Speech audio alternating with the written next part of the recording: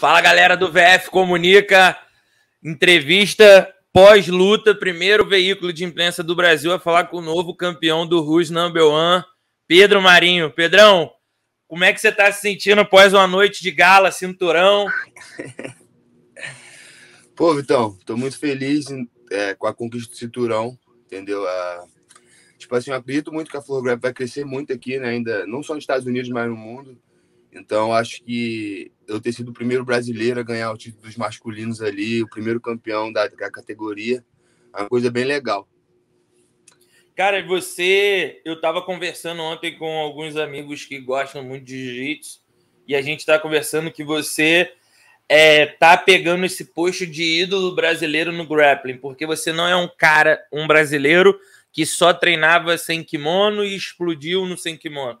Você vem do kimono, foi produzido pelo kimono e se desenvolveu muito mais sem kimono. Então a galera agora você conquistou o seu primeiro cinturão num grande evento que é o Who's Number One da Flow Grappling, que está fazendo um excelente trabalho, dando muita visibilidade para os atletas. Então, cara, como você está se sentindo com essa euforia dos fãs, mais agora do, dos Estados Unidos por aí e a galera no Brasil começando a te conhecer mais pelo fato de você estar tá lutando bastante grappling? Pô, cara, eu fico feliz, né, Vitão? Tipo assim, é, muitos anos trabalhando já duro, né? Você me acompanha faz tempo aí, desde faixa arroz, sabe aí como é que era, sabe? A correria doida. Então hoje você vê as coisas acontecendo assim, como você falou, pô, num dos maiores eventos do mundo, entendeu? E eu de main event. Claro que eu, tipo, de falar a verdade, eu não fiquei muito feliz com a minha performance, acho que eu poderia ter feito mais, sabe? Mas é aquilo, né, velho? Tipo, melhorar, não tem como mudar o passado e ir pra frente e fazer melhor. Mas, tipo, total, assim, tudo eu, eu tô bem feliz, cara. Tipo, assim, como eu te falei, é, é uma parada meio histórica, assim, né? Eu, eu, eu caraca, às vezes eu confundo. Primeiro brasileiro eu, a ser campeão do. Isso, tipo assim, eu, eu sabe, eu, eu, fico feliz com isso. Tipo assim, eu sei que, que é uma forma de representar, né? Eu, eu era o único brasileiro do kart também, então foi bem legal. Exato. E o maneiro que agora vai abrir portas para outros brasileiros, né? Com que certeza. até então a galera, a galera pensa muito que a Flow Grappling, eu, eu não acho isso, mas a galera pensa um pouco que eles visam mais o, os americanos, mas eles dando essa oportunidade para você disputar o cinturão, você sendo campeão, abre porta para muitos brasileiros que agora vão treinar mais sem kimono para estar tá disputando um cinturão, ganhando bem, tendo a visibilidade que teve, todo mundo parou para assistir esse evento. E agora falando da luta, tu acha, na tua visão, que o Greg Jones respeitou você demais? Pô, vou te falar de verdade, eu não entendi muito a estratégia dele, sabe? Tipo assim, eu acreditei, a minha estratégia, eu, eu sabia que, tipo assim, eu não queria ficar dando takedown nele toda hora, porque era 15 minutos, entendeu? Então, tipo assim, se eu ficasse aí no começo igual um maluco, eu ia acabar chegando no final sem, uh, sem energia, né? Então, a minha ideia era né, trabalhar minha, minha, meu guarda peço ali por cima. Eu, eu, tinha certeza que ele ia puxar para a guarda. Eu não acreditei que ele iria fazer o wrestling comigo. Quando ele começou ali com a, aquela briga de mão ali, né? A briga de, de, de clinch, essas coisas assim. Eu vi que, tipo assim, ali ele não ia me derrubar, sabe? Eu, eu, não tinha, eu tinha zero medo de, tipo, levar uma queda ou alguma coisa assim. Se eu olhar, eu, tô, eu, eu ando, tipo, eu fico em pé, ando para cima dele, entendeu?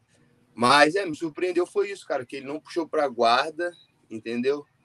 E é, tipo assim, quando ele puxou eu passei, então ele rapidinho ele levantou de novo, ele nem continuou no chão. Eu acho que ficou meio ruim para ele assim, tipo, não respeitou, mas ele não tava se achando na luta também, sabe? É que tu, você é um cara que é difícil ser derrubado e quando você tá lutando por cima, você tem muita facilidade de se movimentar bastante pelo fato de ser um cara do jiu-jitsu. Acho que os caras do wrestling, quando eles estão por cima ou por baixo, pelo fato de não treinar a guarda, fica muito monótono. Uhum. Então ele meio que ficou parado na sua frente, o que uhum. é bom para o passador, né? É ruim quando o cara se movimenta. Você conseguiu passar a guarda ali. Tu ficou com receio um pouco de arriscar um bote no braço ali, ou um estrangulamento, cara... realmente não deu? Se você ver no vídeo, assim, ele, ele tem uma, ele faz uma pegada, assim, dentro das minhas pernas, assim, que não deixa eu jogar meu quadril pro chão, entendeu? Então, tipo assim, eu não conseguia estabilizar meu quadril. Meu quadril, eu, eu consegui fechar o body lock ali nele, por, no norte-south, só que eu botava pressão, ele continuava empurrando meu quadril. E a gente sabe que o Craig ele tem essas posições que ele sai do side control ali para entrar no Gil Hook, essas coisas, né? Então, quando eu vi que eu não ia conseguir, tipo assim, estabilizar minha posição ali, tipo assim, em uma, uma melhor situação, sabe? Eu preferi soltar e, e recomeçar de novo. Porque eu sei que ali ele é, tipo, um cara muito, muito chato com esse negócio de jogo dele de leg lock, né, velho? É, é, então, tipo eu... assim, foi, foi meio que isso. Então, tipo assim, eu sei que eu poderia ter feito mais também. Isso deu uma coisa que me deixou meio tá ligado? Pô, eu sei que eu posso fazer mais, eu sei que eu poderia uh, ter botado uma performance melhor, mas ao mesmo tempo assim, eu dominei os três rounds, entendeu? Foi tipo, né, 15 minutos, eu ganhei todos as, uh, os cinco minutos, que em cada cinco minutos eles falam, né, quem tá ganhando. Eu tive sempre na frente, e aí você me surpreendeu que ele não puxou para guarda. É, foi bom assim também de você estar tá lutando mais sem kimono para ver o você tá eu estava olhando, antes de conversar com você, eu estava vendo suas lutas no último ADCC. Você estava bem mais, como que a gente pode dizer, quando você está tímido, sabe? Você entra numa grande plataforma para lutar, que hoje é a Flow Grappling, é o ADCC, você já está agindo mais naturalmente. Eu vi também sua conferência de imprensa, a sua maturidade para falar, para lidar com, com esse estrelato que, quando você não tem uma parte mental forte, isso pode acabar atrapalhando, né? Do Pedro que não tinha os holofotes há dois anos atrás para o Pedro, Pedro agora campeão, mentalmente falando, para lidar com esse assédio da mídia, como que está sendo para você? Pô, cara, tipo, é aquilo, né? Quanto mais você vai crescendo, assim, mais é... Tudo que tem bônus tem ônus também, né? Assim, tipo, você vê, tem, começa a ter os haters, né? Pessoas começam a te criticar, isso, aquilo. Mas é aquilo, eu acho que é igual eu tô te falando, tipo, eu, eu já, eu venho, eu sou novo, né? Sou um faixa preta não tão, né? Eu tenho 25 anos, tenho 8 meses, 9 meses de faixa preta. Mas eu, vim, eu venho lutando já essa parte do grappling, assim, uns três anos aqui nos Estados Unidos, né? Então, eu acho que eu vim amadurecendo, sabe? Eu acho que eu tive minhas fases lá, como você falou, a DCC foi uma coisa, caraca, eu tô aqui no DCC, sabe? Tipo, então eu ficava muito nervoso, assim, tipo assim, cara, que lutar com os caras mais conhecidos, ficava, caramba, meu irmão, esse cara aqui tal, blá, blá, blá, campeão disso. Então, conforme foi passando, eu fui, tipo assim, né? Eu ganhei de cara muito duro, eu perdi de cara muito duro. Então, tipo, você vai entendendo que é ups and downs, sabe? E tu vai amadurecendo e começando a, a entender melhor. Então, hoje eu, eu, lido muito, muito tranquilo com essa parte, assim, de, sabe, de, uh, de pressão, assim, entendeu? Eu sei que se eu tô ali, eu assim, se eu tô com essa pressão toda, é porque eu coloquei a minha. Eu, eu, me coloquei naquela situação, né? Tipo assim, Sim. pô, se eu tô no meio evento, do maior evento do, do mundo, então, pô, tipo, alguma coisa certa a gente tá fazendo, sabe? Então é só focar ali e o resto é, é vai passar. Eu, eu acho interessante esse formato de você lutar, defender um cinturão que traz muito prestígio para o jiu-jitsu. Né? A gente fala grappling, mas ali a galera do jiu-jitsu do grappling veio do jiu-jitsu. Então, uhum. para mim, sempre vai ser o Pedro do jiu-jitsu, é apesar, é apesar de você estar tá lutando no grappling. É muito bom esse assim, né? Essa atmosfera. Tu, tu lutou uma luta, disputou o cinturão, provavelmente no, vai escolher algum adversário, ou eles vão casar e você vai lá disputar o cinturão. Dá todo um prestígio, tipo o MMA, né? Você se sentiu é, assim, é diferente, se sentiu como uma estrela de fato? Com certeza, sim. Acho que a parte do cinturão foi, tipo, a gente, igual eu tô te falando, eu, eu eu realmente acredito que a Flow Grab vai ser tipo o UFC, assim, do jiu-jitsu, sabe? Tipo assim, esse evento dele, hoje no meu ano. Então foi uma parada muito legal, assim, você vê ali, tu vai defender teu título, sabe? Tipo assim, tu pode, pô, é, desafiar outros campeões também, fazer uma super luta de campeões, então fica bem legal, acho que dá um prestígio maior, sabe? Tipo assim, e, e, se torna mais é uma coisa mais desejada, né? Todo mundo vai querer aquilo, todo mundo vai querer aquele cinturão. Não é só mais porque disso, tipo assim, não é só porque de dinheiro, isso, não. O cara vai querer, tipo, também ter o prestígio, ser o campeão ali na, na categoria e saber que ele é um dos melhores do mundo, né? Exato. E agora, falando sobre já a tua jornada no Who's Number One, quem você deseja enfrentar ao ouvir a sua entrevista, você pensa no Gordon ou vai deixar eles colocarem um cara do teu peso por enquanto?